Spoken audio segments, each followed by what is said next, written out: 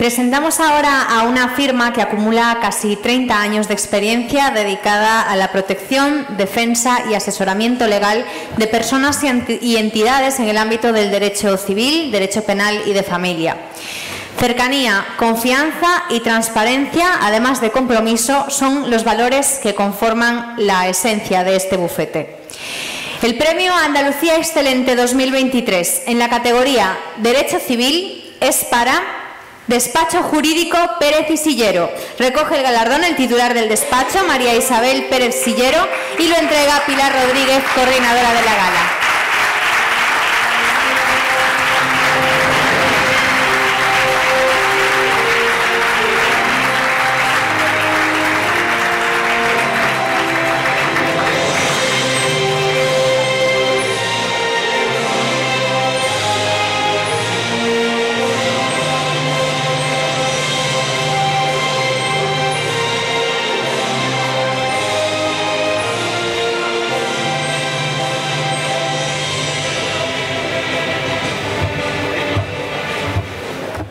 Tal vez nacer en la ciudad patricia, capital de la Bética romana. Tal vez haber nacido en el seno de una familia de emprendedores. O tal vez mi temprana pasión por el derecho.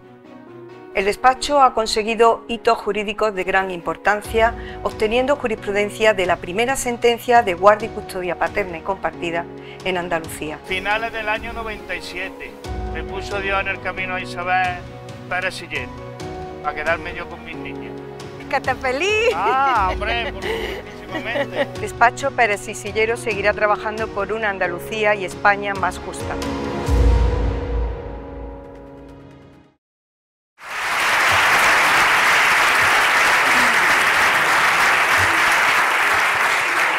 Buenas noches a todos.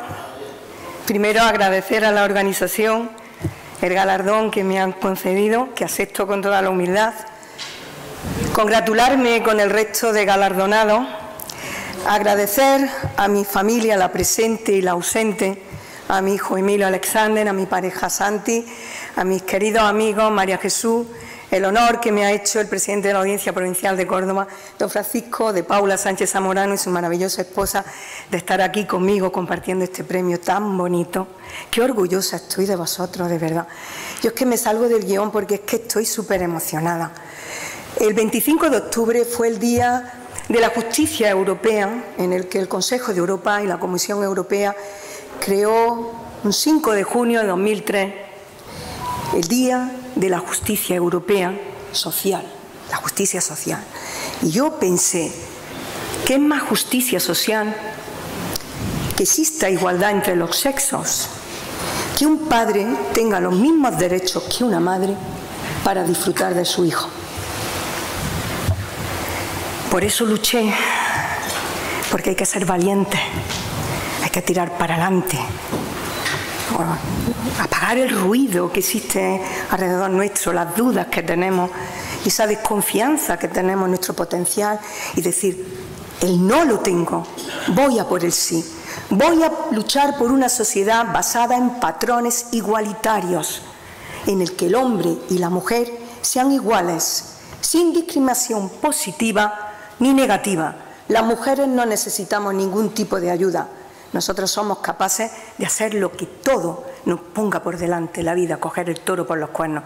Por lo tanto, hay un momento en el que hay que ayudar a los hombres y yo estoy ahí. He hecho muchas cosas a lo largo de toda mi carrera, pero esa escena última que habéis visto, que no estaba, era una escena en la que me encuentro a Manuel Fernández Esquina, el primer hombre en Andalucía que consigue la primera guarda y custodia que se había conseguido en otras comunidades autónomas, pero en Andalucía no. Yo no lo tenía preparado, yo estaba con mi hermano, que es el que me hizo el vídeo de Pérez Producciones, y yo estaba en el puente romano y me encuentro a Manuel vendiendo agua con su carrito. Eso es que, si Dios no existe, que me lo contéis, es que no es normal. De verdad que es que yo no lo tenía preparado. Por eso me dio tanta alegría y se me cae la baba viendo a Manuel. Y Manuel lo dijo. Y Manuel fue feliz. Porque yo le conseguí la guardia y de sus dos niñas de dos y de cinco años. Y fue la primera. Solo quería compartir con vosotros esta anécdota porque como personas que somos nos alegramos de las cosas buenas que le pasan a los demás y os mando un mensaje de ilusión y de esperanza, de orgullo de Andalucía y de España, esta España tan, tan denostrada, pero que nos sentimos todos españoles y andaluces, porque sois un ejemplo a seguir y habéis hecho que me sienta feliz.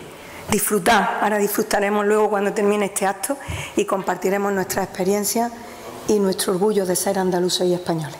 Buenas noches.